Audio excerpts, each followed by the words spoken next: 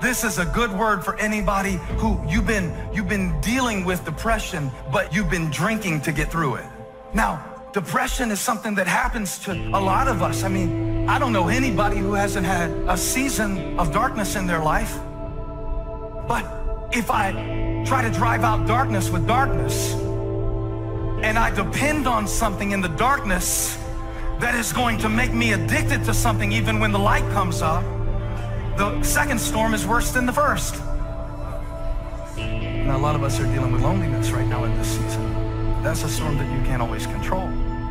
But if you run to places in the storm that are more dangerous than the storm itself, how many times have you have you left a place that you didn't like? And the problem is, you can't change if you never stay. Staying power. Staying power. One text message can change the next three years of your life in 80 characters out of nowhere. That's the first storm, the one you can't control. And you can't do anything about the current crossing the current and the stormy conditions. I mean, some storms are just seasonal. Some storms can't be avoided. Don't create a second storm by your decisions. See, you can ask God to protect you in the first storm. God, I don't know what to do. You do. God, I can't do anything about this. You can. But what a lot of us have been doing in this season of uncertainty, we have been creating second storms that are worse than the first. I want to have a conversation with y'all about unapologetically getting rid of all things, people, and situations that no longer belong in the new season of your life. Some of y'all came up with New Year's resolutions you've already fell apart. You've already fell apart. New Year's resolution, Happy New Year.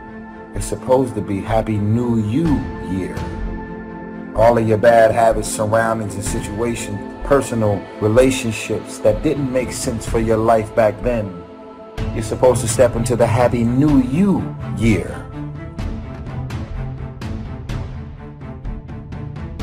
So many of y'all are mental and spiritual, psychological warfare. So many of y'all are in spiritual chains. You are spiritually behind bars. You are stuck. You are institutionalized. Most of us have two eyes and we still can't see, can't clearly see all of the, the scams, the people's motives, God sends us bold signs and wonders, tells us to change our environment and our surroundings so that we can reach the ultimate level of being blessed.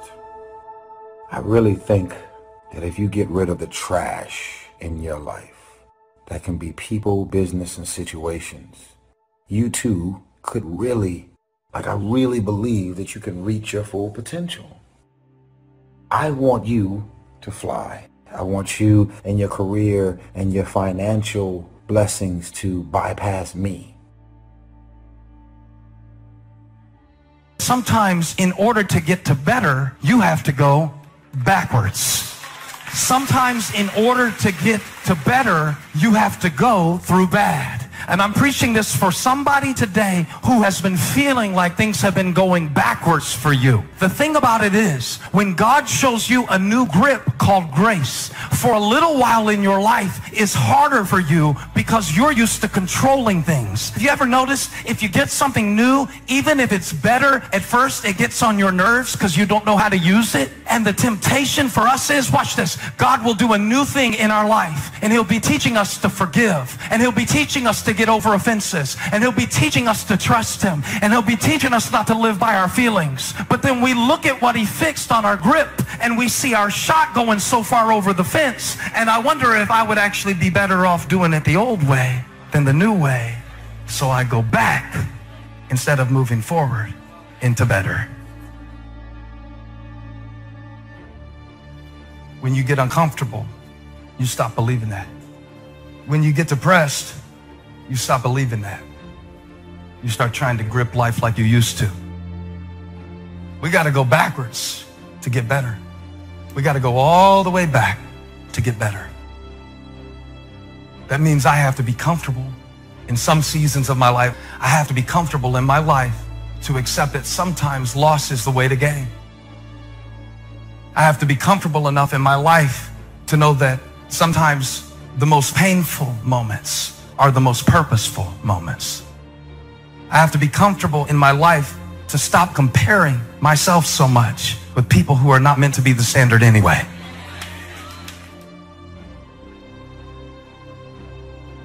You may have a good reason to worry about something. In your health, your finances, a dream, you've done everything you can, doesn't look like it's going to work out, stay in faith. It's just a matter of time before you see things change in your favor. Now, live out of a place of peace, a place of trust. It may not happen the way you thought, but God's ways are better than our ways. God knows what's best for you. He's got this.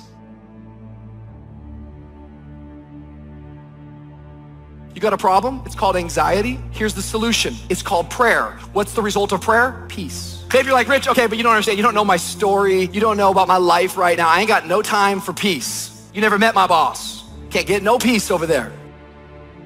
You don't know my husband. Ain't no peace in my home. You don't know my situation. You would be absolutely correct, absolutely right. I don't know all of those factors and all those variables. Yet I'm not sure if you're listening to me tonight. What the scripture says is that when we go to God in prayer, what happens is we don't get man's peace, we get the peace of God. The peace of God is interesting because the peace of God transcends all understanding, meaning that God's peace is superior to your earthly situation. God's peace is illogical. So if you have a situation that doesn't make sense, good news, your God has peace that doesn't make sense. Listen, your situation might not change, but your soul will.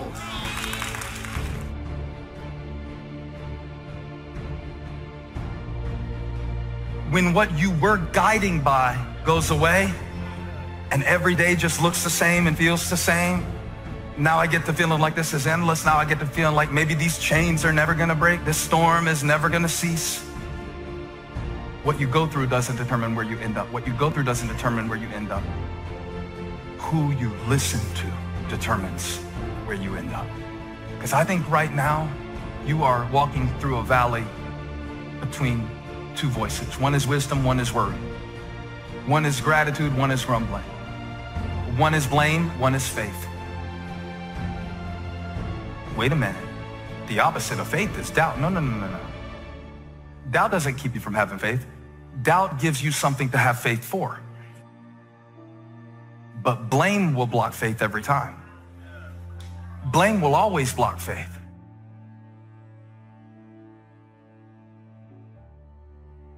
A subject that altered my life forever. It was just unbelievable. I hadn't known my mentor, Mr. Shoaff, very long until one day he said, Mr. Rohn, let me see your current list of goals. He said, I've had a lot of experience and I've been out here for a while. And he said, let's go over them and maybe I can really give you some good ideas. And I said, I don't have a list. He said, Well, said, if you don't have a list of your goals, he said, I can guess your bank balance within a few hundred dollars, which he did. That got my attention. I said, you mean my bank balance would be a lot bigger if I learned how to set goals? He said, Drastically bigger. That got my attention, so I finally said, Hey, I want to learn how to set goals. It is a fantastic skill to develop how to design your own future. So make the note life best lived is life by design, not by accident. Not just, you know, walking through the day, careening from wall to wall and managing to survive. You know, that's okay. But if you can start giving your life dimensions and design and color and objectives and purpose, the results can be absolutely staggering. Key phrase here's a chance now to use your imagination. Because the imagination builds cities, imagination conquers disease, imagination develops a career, imagination sets up a relationship. Imagination is where all tangible values and intangible values begin in the imagination. So, what you've got to learn to do is use this powerful resource. Now, sometimes all by ourselves, it's a little difficult sort of to get it going. That's why a little workshop like we're going to do today is sometimes very helpful. When someone does a little coaching and says, How about this, this niche. I never thought about that. That ought to be easy to do. And the first thing you know, you're going. And uh, that's why that is so important. But now, tapping this resource of the imagination and thinking about your future, thinking about tomorrow, as early as tomorrow or the rest of the day, and thinking on out the rest of the year, on into the next century, on into the early years of the next century. A workshop like we're about to do helps call your attention to that so you can use your imagination to start prospecting for the future, what could be possible for you. We're affected by our dreams, our vision of the future.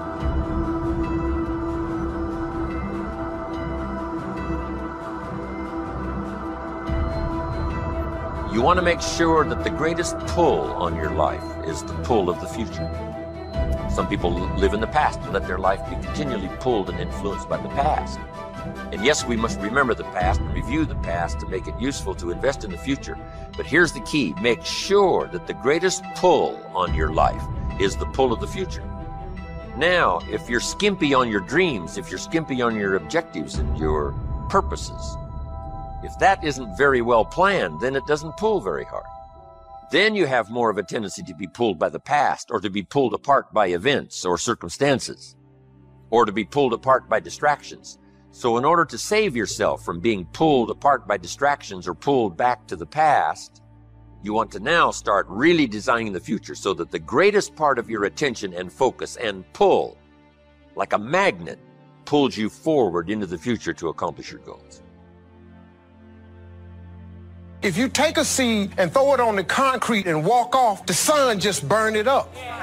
Got to have dirt put on top of it. In my mind, it doesn't make sense that to grow something, you should dig a hole, put it down in there, and cover it with dirt. Logically, that don't make no sense to me. But oh, though. See, Dirt is necessary for growth and development. Dirt builds character. Dirt gives you the push-through factor. Dirt makes you come with it when you don't feel like coming with it no more. All of y'all that had dirt throwed on you. And dirt ain't always what you want. It's somebody talking about you down on your job. It's somebody accusing you of something that you didn't do. It's somebody telling you you ain't gonna make it.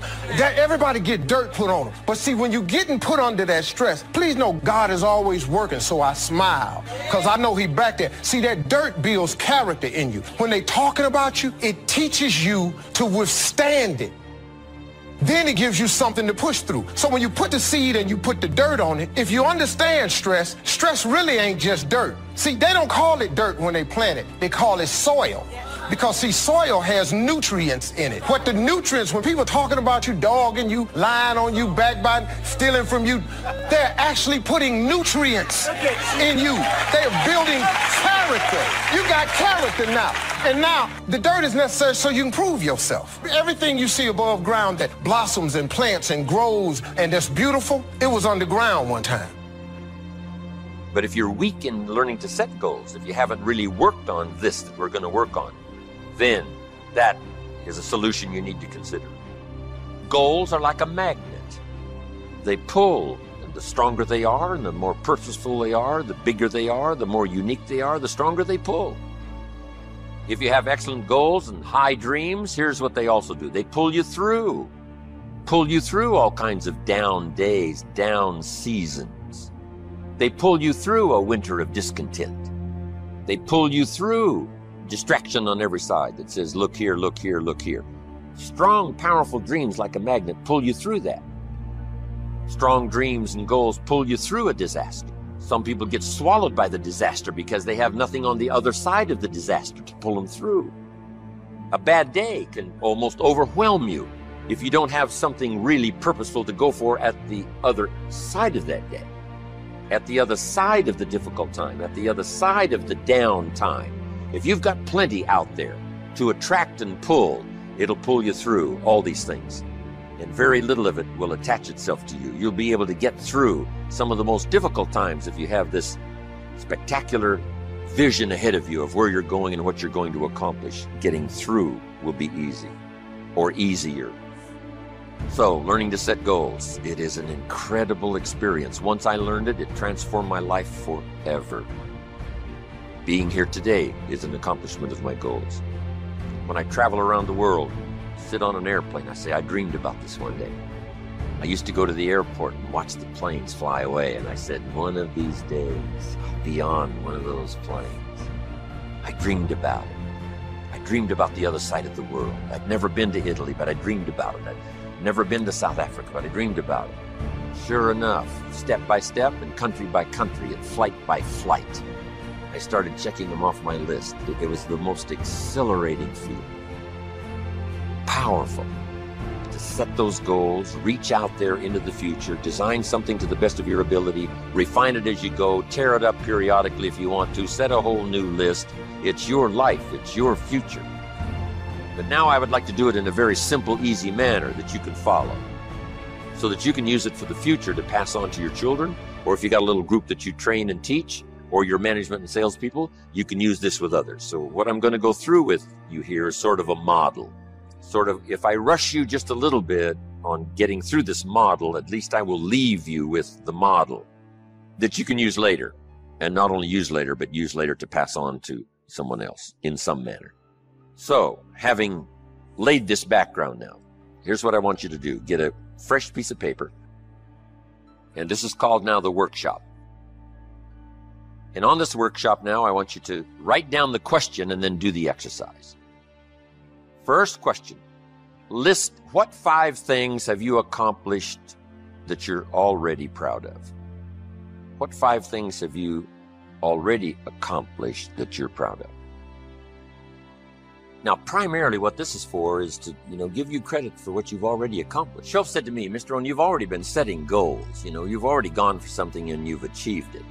But you've probably done it haphazardly. You haven't done it with a real plan in mind. And you've accomplished some things. Now, if you start deliberately doing it, can you imagine how you can multiply the effect by 5, by 10, by 20, by 100? I finally got the message. So, first of all, you wanted to make sure I got credit for the things that I had already accomplished, especially in my own mind. You know, whether it's an accomplishment to someone else doesn't matter now, just so you recognize it for yourself. Now that you've done that little workshop, here's the second question. This is going to take some time now. What do you want in the next 10 years? What do you want in the next 10 years? Now, under this, what do you want in the next 10 years? That is the question. I want you to make a list of at least 50 items. Now, here's what I want you to do I want you to just write as fast as you can. Don't give any much detailed thought to it of what you want in the next 10 years and just let your mind run free. Now, also remember this this is not what you think you can get, this is what you want. If it all fell into place and you could have everything you wanted in the next 10 years, what would you take? If somebody promised you can have anything you want in the next 10 years, what do you want? I want you to approach it that way because it's not important to think, what do I think I can get? I want you to now think about what you want in the next 10 years and put them one under the other, not side by side, but one under the other because we're going to do something with this list when you finish.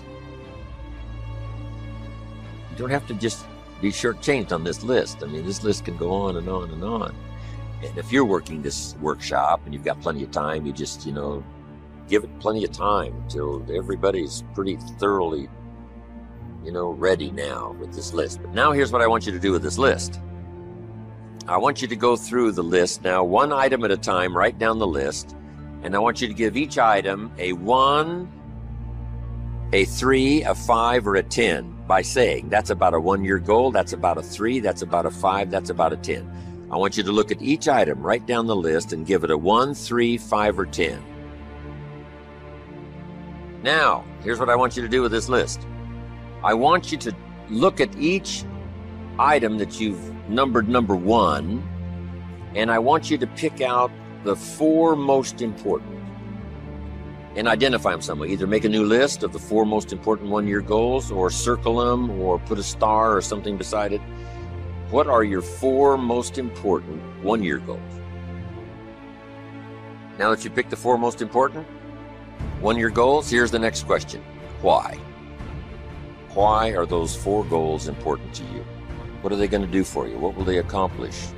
Why did you pick those? Why? Why are those goals important? Just three or four sentences, if we don't have time to complete it, you can complete it later. If you have plenty of time doing this workshop, you just take the time. why are those four goals important to you?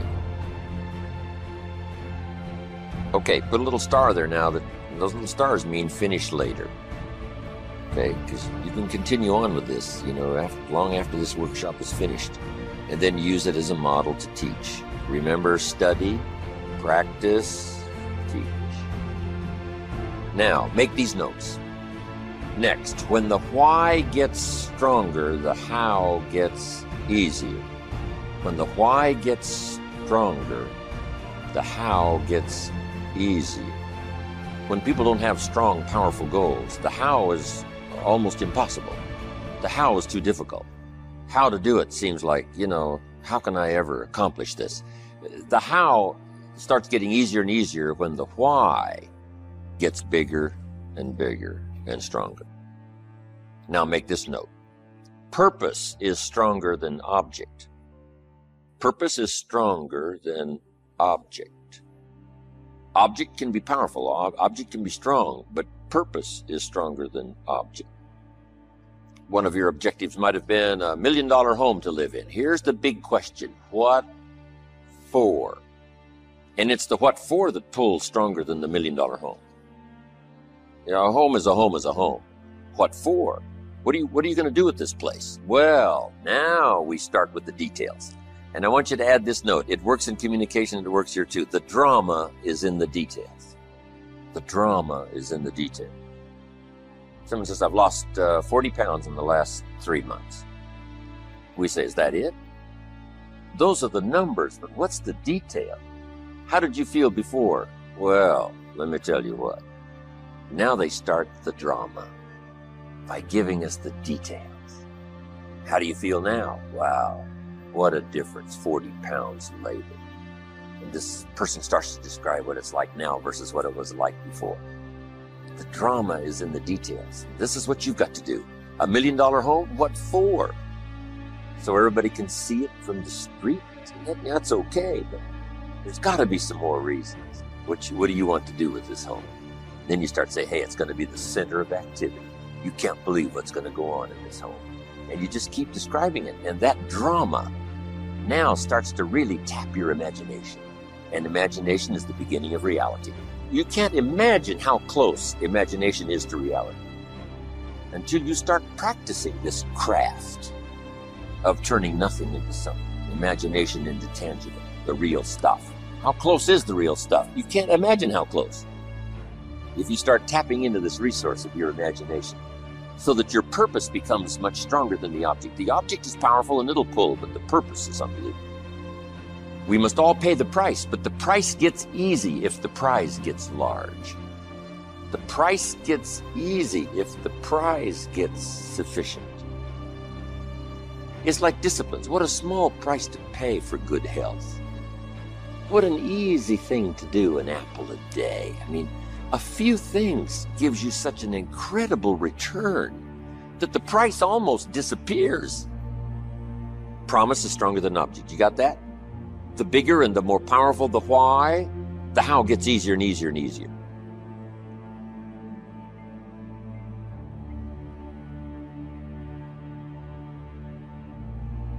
Credit goes to our awesome patrons who make videos like this one possible. Consider joining them to support our work.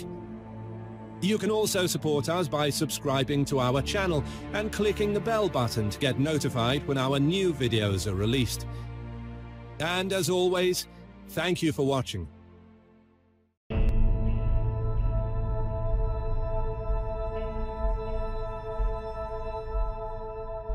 Most of y'all have visions and ideas that are sent to you and you're trying to explain it to other people and because they were never sent the vision, most of y'all say, well maybe it's not meant to be.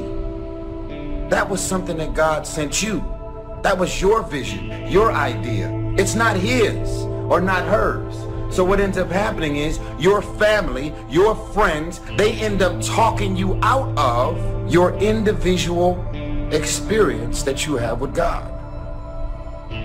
Why don't you show the world who you really are? Many of us secretly feel like we have so much less to offer than what people expect. And that even when people compliment us, we figure that the reason that they're complimenting us is because they don't really see us for who we are. If you take the lead, you will become a target. But just because they're shooting at you doesn't mean they shot you. In fact, some of you should rejoice in the fact that somebody has emptied out their quiver of arrows shooting at you and you are still here. Watch out for we's because people will control you with a we and you will miss your opportunity trying to be loyal to the we. And all of a sudden, in order to fit in in your sociological environment, you passed up the promotion, you passed up the position that you wanted to take because you want the people you're sitting beside to like you and accept you.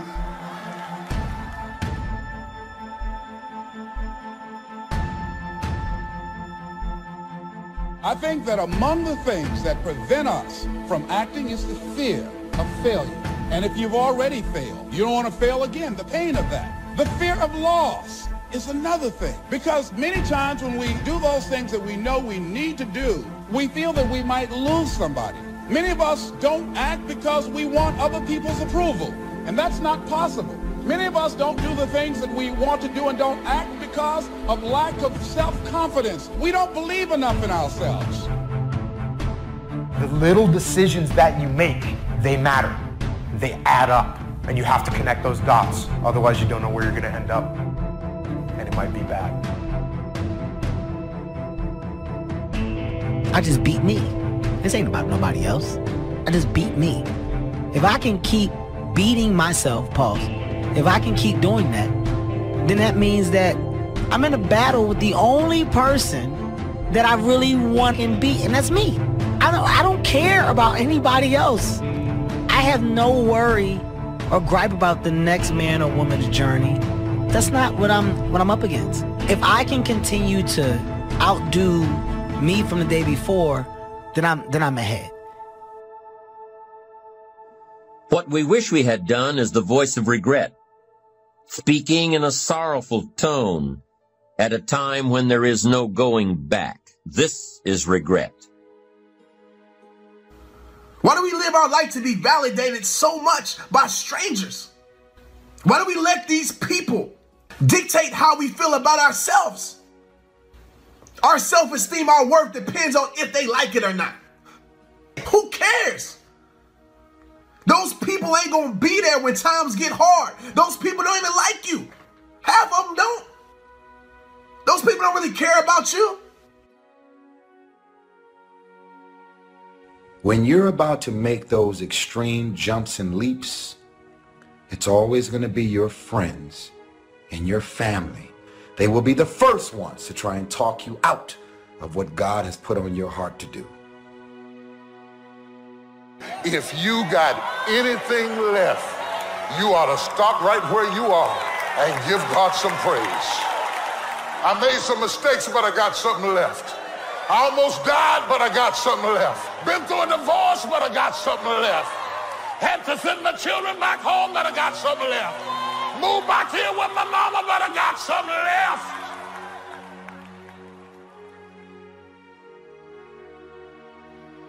I don't know what kind of odds are against you today, physically, financially. I don't know what kind of storm has come or trying to come into your life. If you wait too long to decide what you're going to do with your life, you'll find out that you've already done it. You have to learn to start where you are. Big doors swing on little hinges.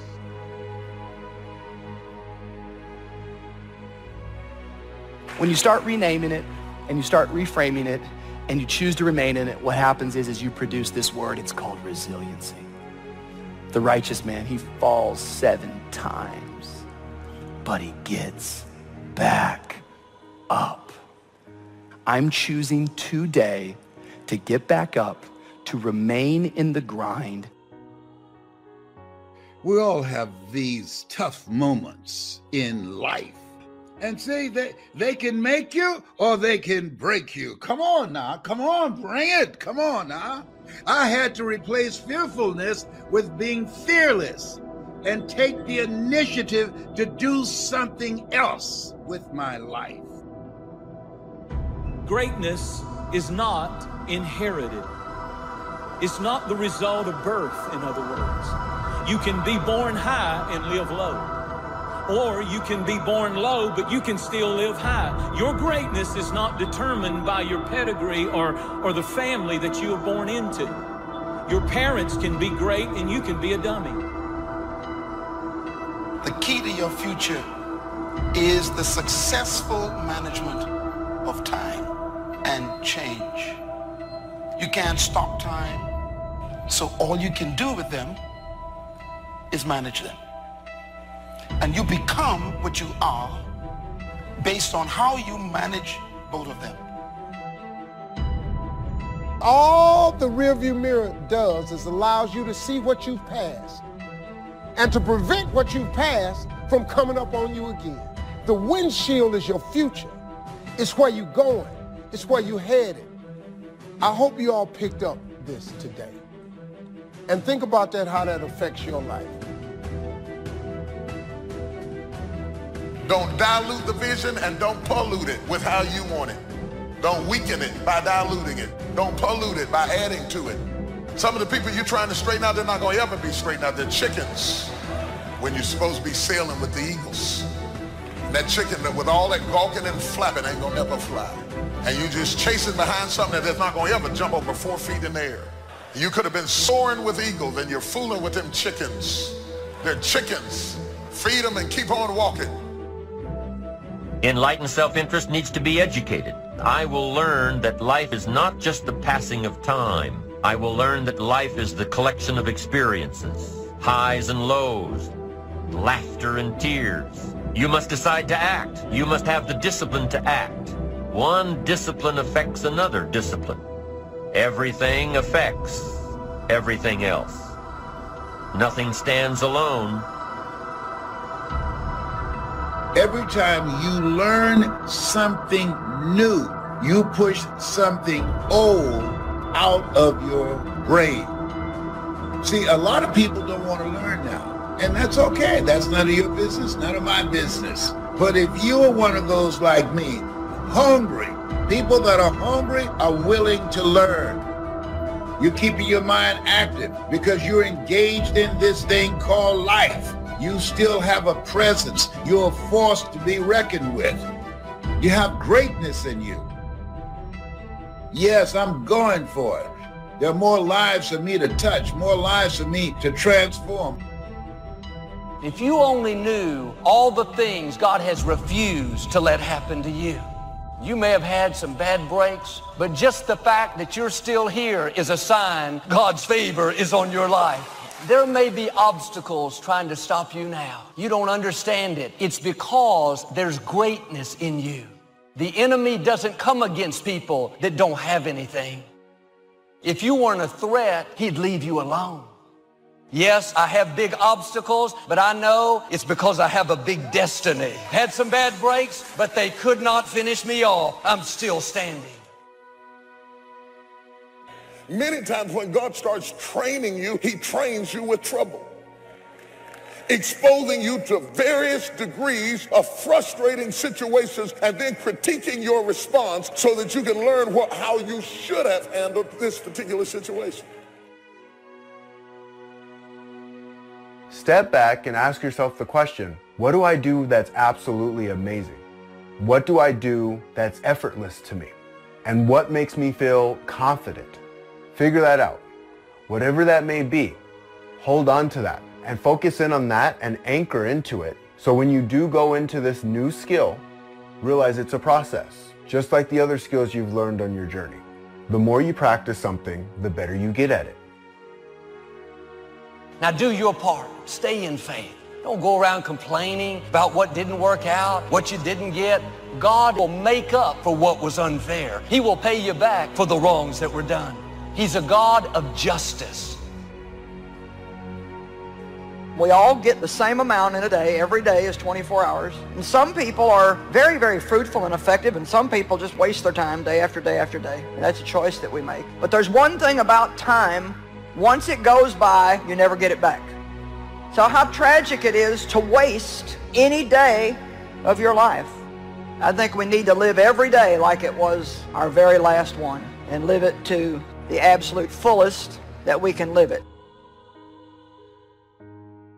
Commit yourself to learning. Feed your mind. Sharpen your interest in two major subjects, life and people. Learn more on how to get the most from life. Learn all that you can so that you can become all that you can become. Learning is the beginning of a life worth living. Learning is the beginning of happiness. Learning is the beginning of spirituality and faith. Learning and searching is where the process of creating your own personal miracle begins.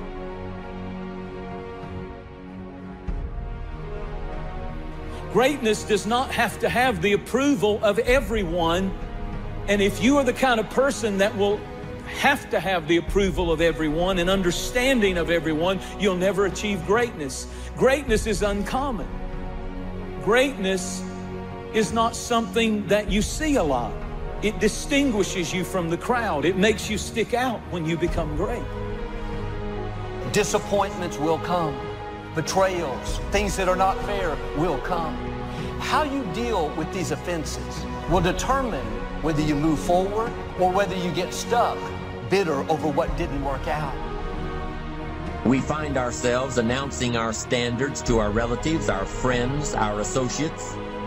We shout our beliefs and condemn those who believe any differently, but then we don't walk the talk. Do as I say, not as I do. This is inconsistent. This leads to a loss of credibility among those who watch us. If you have a support system in place, that's beautiful. I don't understand what you're talking about. I don't really see what you see, but I'm in full support of you. Go make it happen. But in most cases, if you open up your mouth trying to explain to people what you're supposed to do, when you're supposed to do it, they will be the first people to try and talk you out. Find somebody close enough to you that has observed you or been around you that you value their opinion and ask them how do they see you and then compare what you have with what they say. See, there are things many times that people can see in us that we can't see because it's a blind spot. If you're always seeking a certain status to validate who you are, you're never going to have peace. You can't climb up to find yourself. You have to find yourself so you can climb up. So you can be who you are before anybody knows who you are. Our dreams, the lack of sacrifice, the lack of suffering in our lives, its removal, its non-existence also equates to a non-existence of a great life. And so embrace the fact that you're going to have to sacrifice and suffer to some extent. Once you've embraced that it's going to happen, it's almost not that bad. It's kind of like those of you that are fit. You've sort of accepted that before you go to the gym and get there, you're going to have to suffer. And we go anyway. It becomes a habit. It takes discipline to change a habit because habits are formed a little bit each day, every day. Once habits are formed, they act like a giant cable that only long-term disciplined activity can change. It takes the consistent application of a new discipline, a more desirable one to overcome one which is less desirable. We must unweave every strand of the cable of habits slowly and methodically.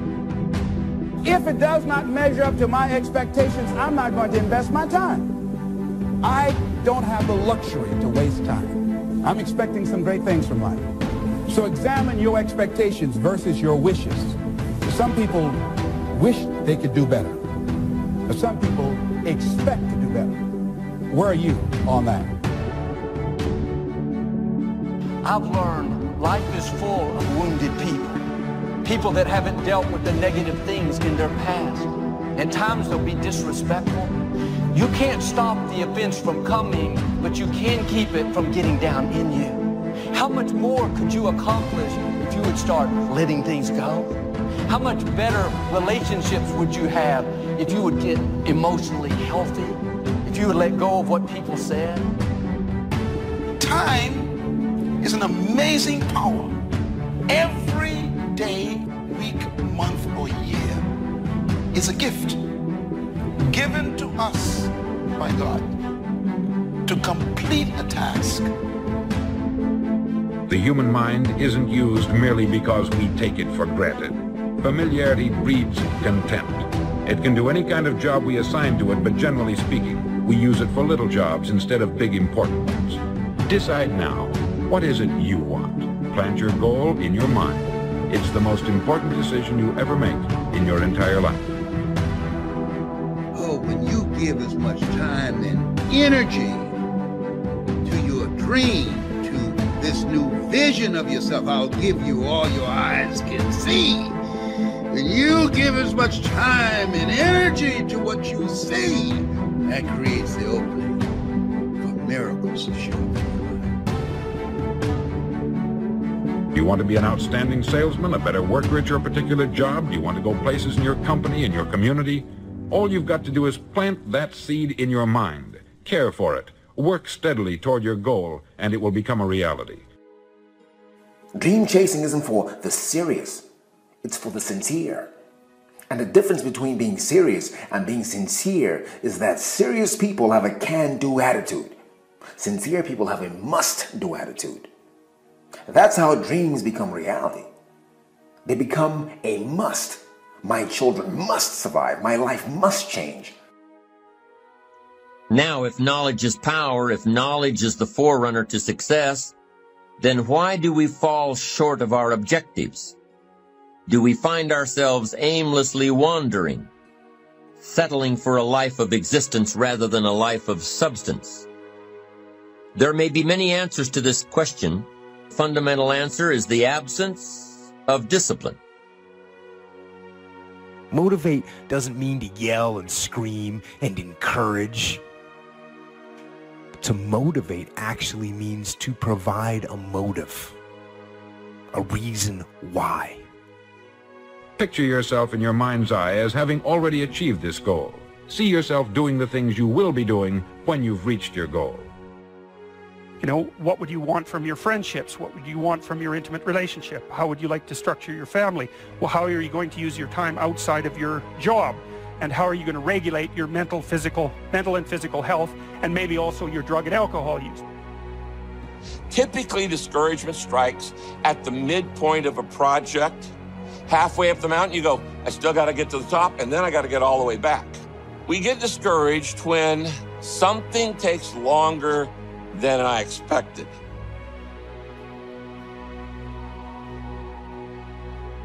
Once you start becoming aware of the power of thought, just look around you at everything that you see, it all began with a thought. We become what we think about. And that is probably one of the most important principles in learning to manifest. What we have to look at is basically the obstacles that we have conditioned ourselves you notice I say that we have conditioned ourselves because I have never believed that we need to be putting the responsibility on someone else. If you're conditioned, it's because you have allowed yourself to become that. You know, if you start with the presumption that there's a baseline of suffering in life and that that can be exaggerated by, as a consequence of human failing, as a consequence of malevolence and betrayal and self-betrayal and deceit and all those things that we do to each other and ourselves that we know that aren't good, that amplifies the suffering. But you need something to put up against that. And what you put up against that is meaning. Meaning is actually the instinct that helps you guide yourself through that catastrophe. And most of that meaning is to be found in the adoption of responsibility. Anticipation is the ultimate advantage. Winners, leaders anticipate, losers react. The reason you get beat is you don't know where things are happening, so you're reacting. Reaction is always stressful. And yet so much of our life is predictable if we just were to study it, not be caught up in our day to day. It's predictable the challenges you're going to have in your relationships or with your kids or with your body. These are predictable. And if you were to anticipate these things and put a strategy in place, you can take it all out and have the quality of life that you deserve. Those that anticipate, those that lead, and then there's those that follow. The followers are the reactionaries.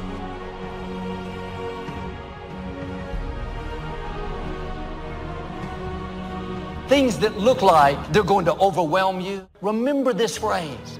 You are stronger than you think. God knew it was coming. He's already put things on the inside that you can't see right now, but at the appointed time, you're going to push back the dirt. You're going to come out of what's holding you back. Not like you were, but you're going to bloom. Don't be fooled by the dirt.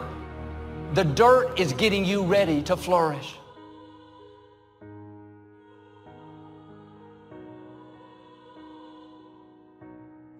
The system we live in and contribute to is designed to make the easiest things in life the most unprofitable. Our world is and always will be a constant battle between the life of ease and its momentary rewards and a life of discipline. Each has its own price. The price of discipline or the price of regret. We will pay one or the other. Somebody said there's some good in the worst of us and some bad in the best of us. I want you to become involved in an active process to get some clutter out of your life. Start working on it. I'm going home tonight to clean my closets. Let's go home. Let that be our task this week.